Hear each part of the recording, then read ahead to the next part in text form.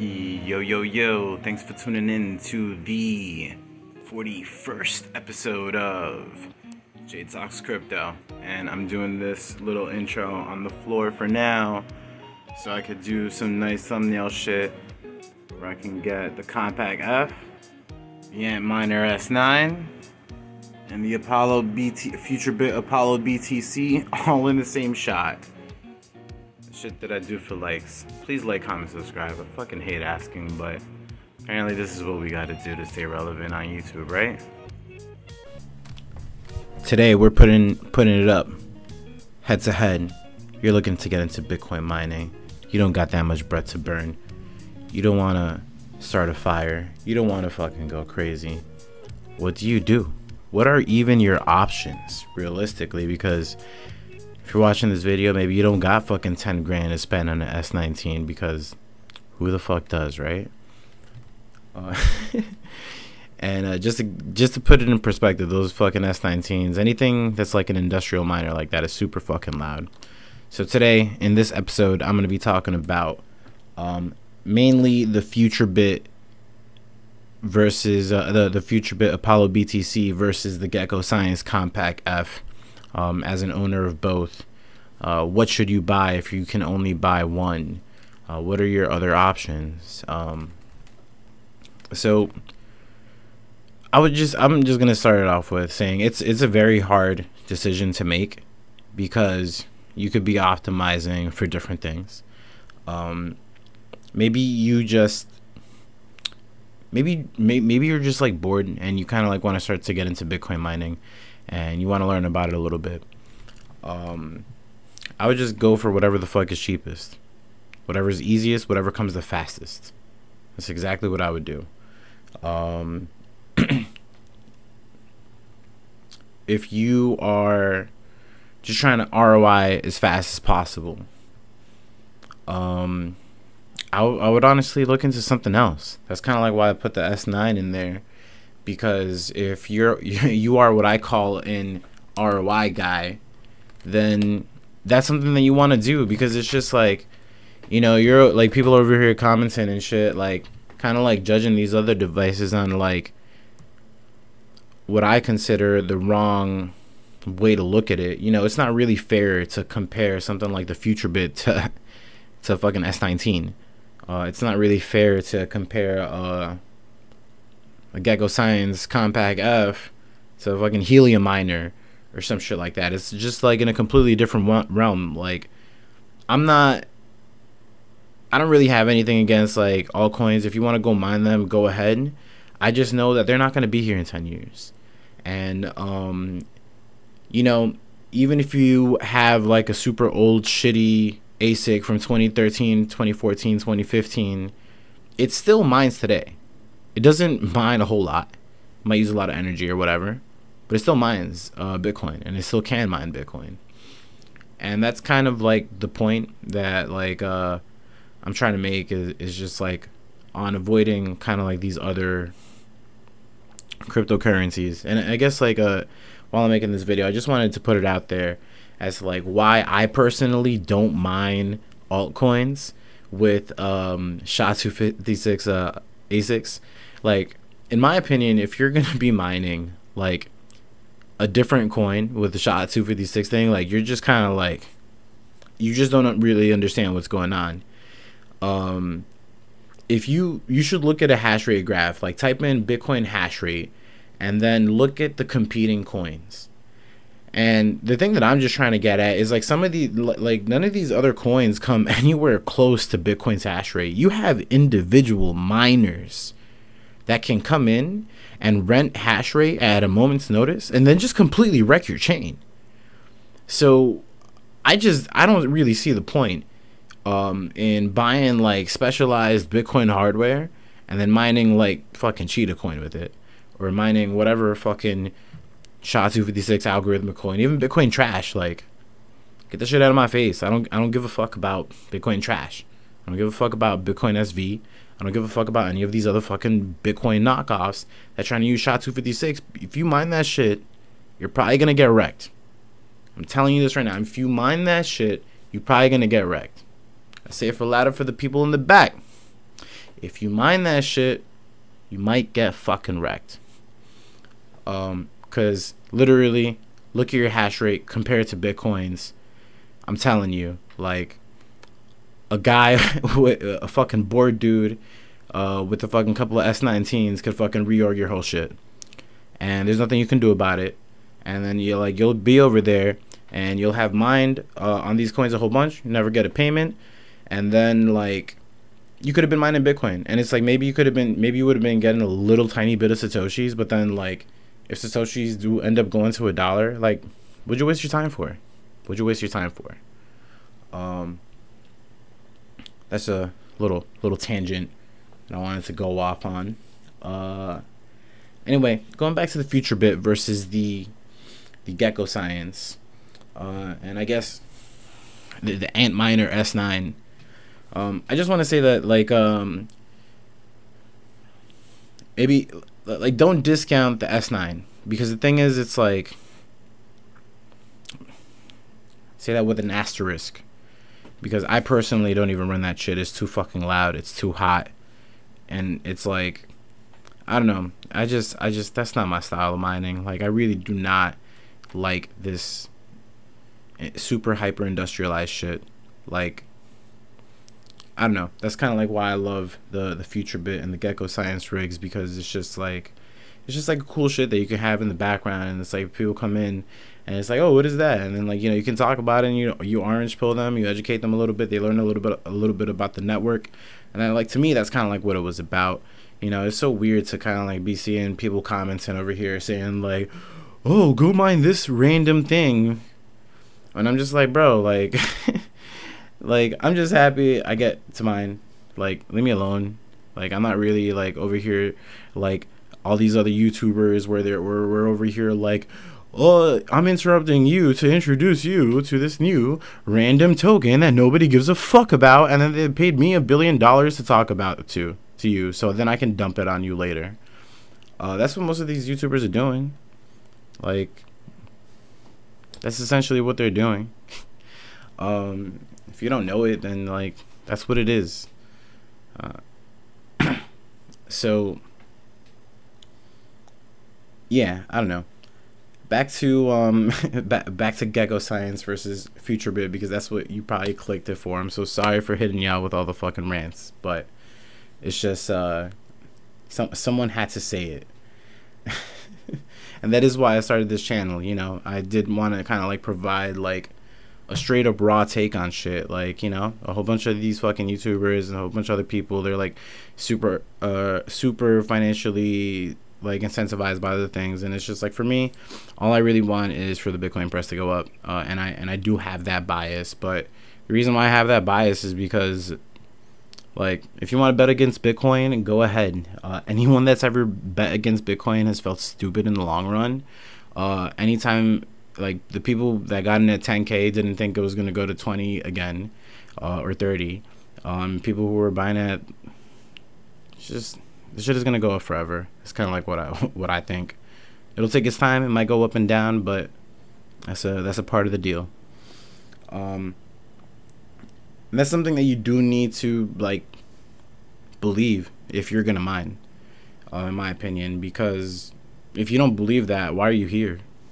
If you don't think that Bitcoin is going to a million dollars per coin, $10 million per coin, why the fuck are you mining? Seriously. Seriously. If you are over here and you're about to buy one of these fucking miners, and if you sell any fucking single Satoshi for like less than a penny or less than a dollar, why are you mining? That's just my opinion. Like we're over here and uh, we're we're in the in the third epoch, epic. I don't know how the fuck to pronounce that word. And um, that means that like three ha- three halvings have occurred. Like how many more? Like you know, in, in a couple more halvings, there's not gonna be like even one Bitcoin per block issued. Um, so why are you mining? if you don't think Bitcoin is going to one to ten million dollars per coin? That's kind of like the question that I want to ask. Why are you watching this video if you don't think Bitcoin is going to 1 to 10 million per coin uh, over the next 10 years? You know, that's kind of like like how I look at it. It's just like you know, people these ROI guys, like in my comments, like, go look at this random coin, and I'm just kind of like, my guy, like zoom out, look at the long term, look at the long term view. This is what I'm talking about on this channel. I'm trying to stay focused. Um, so that's kind of like the mentality that you need to have to even begin to mine.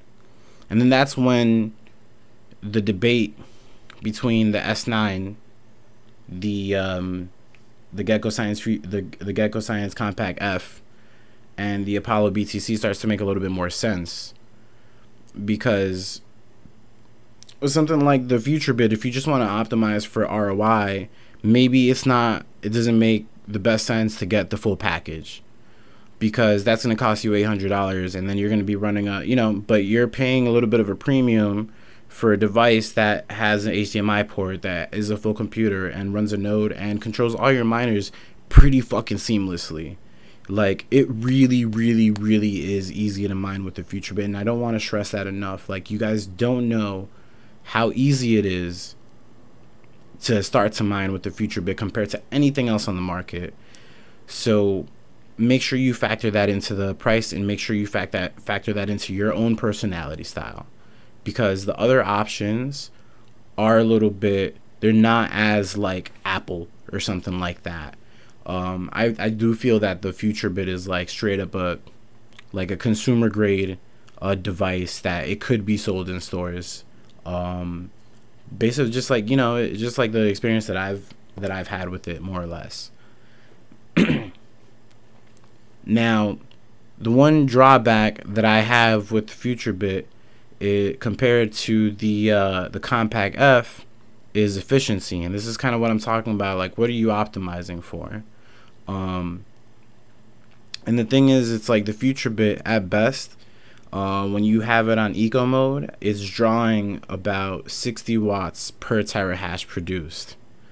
So, you know, that means that you can have it chilling at 2 terahashes and it's going to be using like 60 watts or 120 watts or so. Something like the FutureBit, it uses a newer chip and those chips are from like the uh, Antminer S17 and they have some of um, SideHack's, hand- SideHack's handiwork on it and uh, Kano's drivers and they got these bad boys chugging along at 350 gigahashes um, at about 12 watts, which is at is at 37. I think I did the calculation before. Is uh, it's about 37 watts per terahash. So overall, you're getting less terahashes because the and you're paying more for them. But the way that I look at it is after the halving, you know, in about in, in about three years now, um, the GekkoScience sticks will be mining at a more efficient rate as well. And um, you know they're gonna and and the uh, the FutureBit guys they're gonna be a little bit less profitable than the uh, than the Gecko Science Compac F guys. Um, and then you know the S9 guys they're gonna be even worse off because you know they have about um, 100 watt per terahash device. And that's kind of like what you have to consider in this. It's just like, where do I think the Bitcoin price is going to go if I'm looking at it in such a short time scale? Do I even really care? Uh, because it's you know it's, it's like if like, like you know I'm planning like on holding these and just mining with them through 2024 and 2028 if I can, like why not? And then kind of like seeing where where thing where things are. but yeah, um, so I guess to give a little bit more of a in-depth thoughts on them too. It's like with the FutureBit, there is a way where you can get like four terahashes, you know, relatively cheaply and uh, relatively quickly. And, you know, that just involves getting just the hash board, getting your own power supply, and uh, using your own Raspberry Pi controller. And that, in my opinion, is probably a little bit more comparable to what the setup would uh, be like for the for the GekkoScience because I strongly don't recommend you run the GekkoScience sticks on your Windows or any any anything like that. You in my opinion, those are kind of like designed to be run off a Raspberry Pi and you should definitely do it because that's how they run well.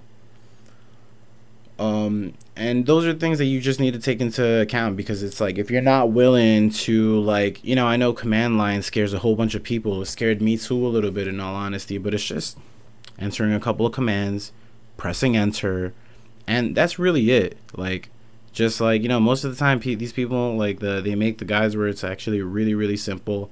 And um i wouldn't be making videos on it if I felt it was something that was super difficult that you know people couldn't do. Uh, in the future, I'm guessing it's gonna be like. I'm hoping it's like a lot more like FutureBit style, but for now, it's still a little. Uh, you know, gotta you. Like I said in the last video, uh, getting the hash out ain't, ain't ain't so straightforward. It's not just putting in the graphics card. I'm gonna show you guys how big this fucking S9 is. I have a big ass head. And I'm to show you how big this S9 is. Look at this monster right here. Shit is huge. And an S19 is like two of these or something like that. It's like ugly. It's industrial as fuck. And um That's not something that's keeping the wife and kids happy at all. And um, it's not even keeping like I'm not kind of that kind of guy. I don't want this fucking loud ass industrial ass shit. Just like come home from like work and shit, and then you just hear that. I'm good, good on that.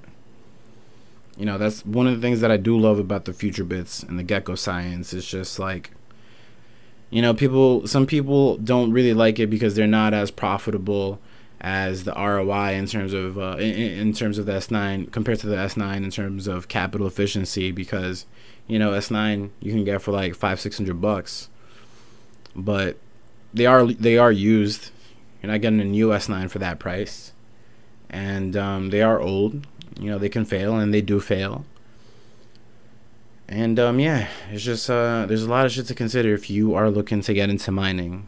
Um, I just want I just wanted to put like some thoughts out there because uh, I, did, I do see a lot of people asking about both, and uh, just kind of like wanted to present some options to to people that if if they did want to get involved in mining in a, a little bit more serious way without going balls deep and you know copping a 10k S9. Um, anyway. This is J Talks Crypto. This video is getting kind of long. Thanks for tuning in, but I'm signing off.